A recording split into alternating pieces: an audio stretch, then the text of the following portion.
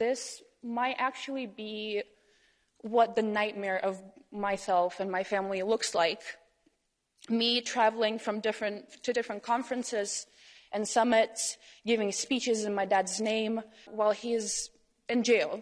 And I will continue traveling, meanwhile, reading articles about the horrible conditions my dad is being held in it's not like there's much to do about it, so I travel and speak, and he continues to be held in confinement.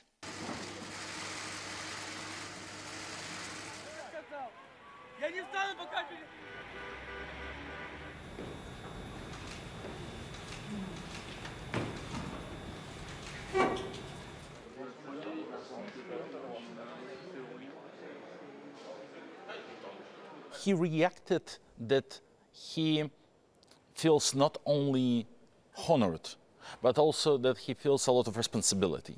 Because, well, it is probably the first time then like fight against corruption has been recognized as a human rights uh, fight, which is indeed so.